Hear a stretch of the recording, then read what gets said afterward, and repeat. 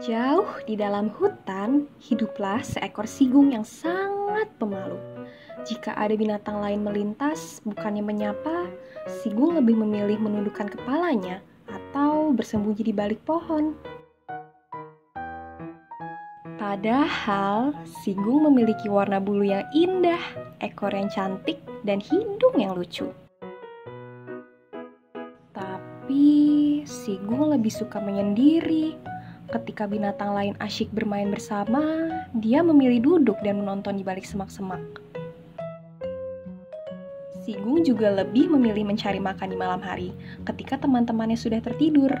Jadi, tidak akan ada yang memerhatikannya dan dia bisa leluasa berlari lincah mengejar mangsa. Suatu kali, Sigung diundang ke pesta ulang tahun landak tapi Sigung memilih tidak datang. Sebenarnya Sigung bukan tidak mau datang, dia hanya malu pada teman-temannya. Tapi apa sih yang membuatnya malu sampai tidak mau bertemu siapa pun? Rupanya, Sigung tidak percaya diri dengan aroma tubuhnya yang khas. Dia ingin sekali membuang kantong di bawah ekornya yang bisa menyemprotkan bau busuk dan membuat binatang lain pingsan.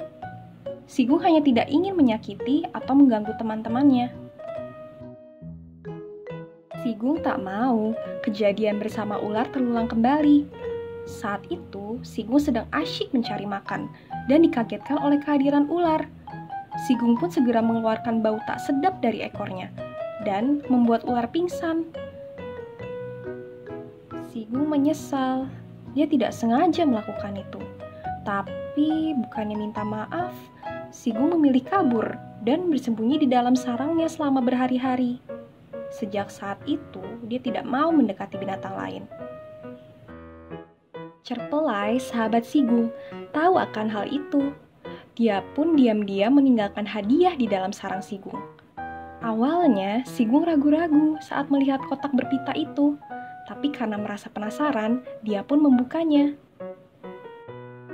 Wah, rupanya Cerpelai menghadiahkan sebotol parfum. Sigung lalu menyemprotkan parfum itu ke seluruh tubuhnya. Dan, hmm, aroma harum pun tercium. Sigung jadi percaya diri. Dia berani keluar rumah dan bermain bersama teman-temannya. Dia tidak takut dengan aroma tubuhnya yang bau.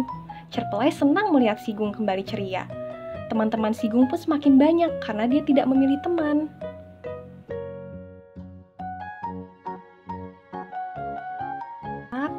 Seminggu kemudian parfum Sigung habis.